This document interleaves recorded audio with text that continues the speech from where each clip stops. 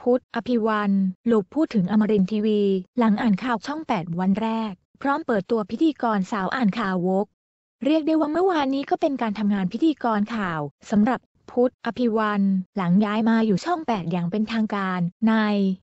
รายการลุยชนข่าว นอกจากขอฝากตัวกับแฟนๆแล้ว ยังได้ฝากตัวกับเพื่อนผู้ประกาศข่าวร่วมรายการอย่าง เม ชอนิดนานทอนอการันบุญนานิธิ โดย พุทธก็ได้แซวตัวเองว่า วันนี้ลองดูจะแย่ง น้องเมย์อ่านข่าวไหม เพราะมีบางคนบอก ว่าตั้งชื่อรายการคุยคนเดียว จริง ๆ รายการนี้ชื่อ ลุยชนข่าวไม่ใช่คุยคนเดียว ในการอ่านข่าววันแรก มีช่วงหนึ่ง พุทธก็หลุดปากพูดถึงทีวีช่องเก่าด้วย โดยพูดว่าทีมข่าวอมรินทีว